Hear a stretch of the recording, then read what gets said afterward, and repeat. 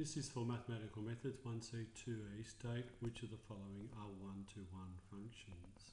Okay, so I've got y equals 1 and x squared. So that is a truncus in the form of this and this.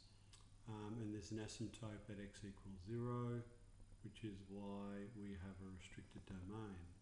So does it pass the vertical line test? Yes, it does. Therefore, it's a function. Does it pass the horizontal line test? No, it doesn't. Therefore, it's not a one-to-one function. It's a many-to-one function. Therefore, the answer is a big no.